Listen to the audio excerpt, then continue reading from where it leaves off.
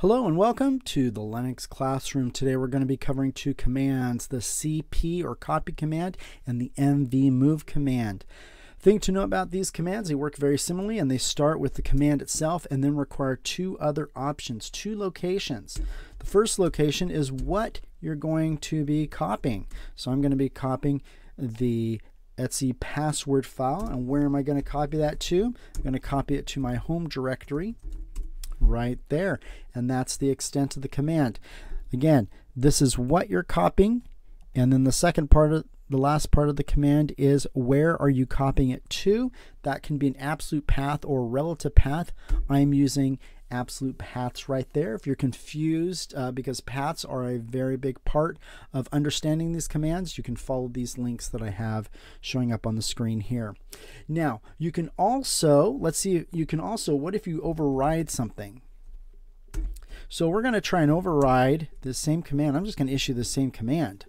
And let's see what happens here. Oh, it captures it. See? So you get a warning saying that it's going to override. I'm just going to hit a yes, and that means it will override and update that file. So there's a little gotcha there. If you are going to copy over something, it does warn you a little bit.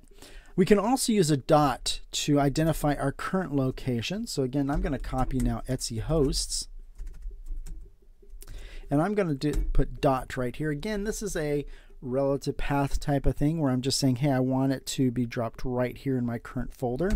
And that does that. And if we go ahead and look at what I have, you'll see that my host file and my password file have been copied over into my home directory. We can use relative paths as well. I can use cd and I can move this file 1 over to my locally temp folder right there. I can do that. So I'll do file 1 and I will copy that to temp. So again, this is the file I want to move.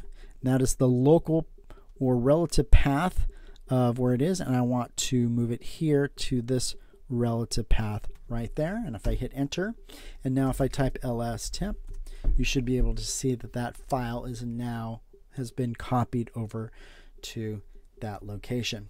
Now, we can copy more than one file at one time. For instance, I have some of these pictures right here, pick one, two, and three, those PNGs. If I want to copy all of those to the temp folder, I can do that as well. And I can just list them, just like this, one right after the other.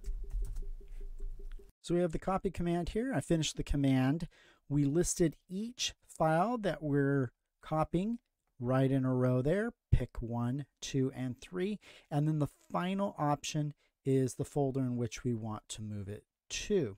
So again, we're doing the same thing, right? What we want to move, we're listing second right after the command.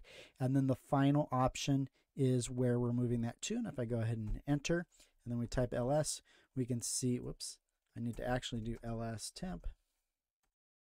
We can see that those pictures have been copied inside the temp folder.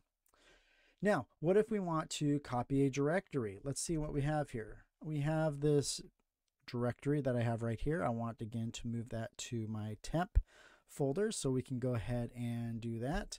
We can simply just do copy dir temp. Now we may get an error here, and we do, saying that the R option is not specified, meaning we're not using copy dash R to copy this directory over.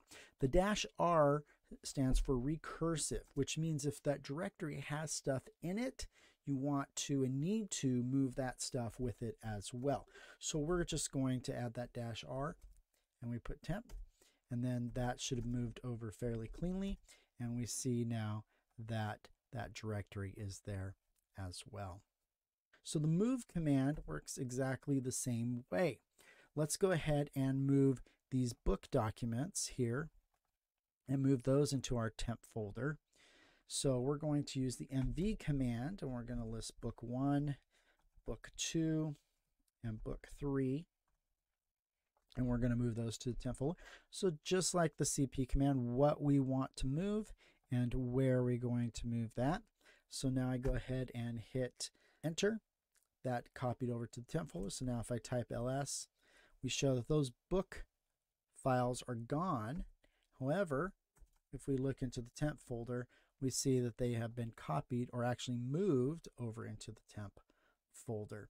Now let's try a directory, right? Because a directory was a little bit different with the copy command. Let's do move dir, and we're going to move this to downloads. And if I do that, there's no R option that needs to be used. The move command does it absolutely. Moves dir directory to the downloads folder. If we go ahead and look at this, we see that that has indeed been moved. I hope this has been helpful for you. This is the cp or copy command and the move command, and I hope you have a great day.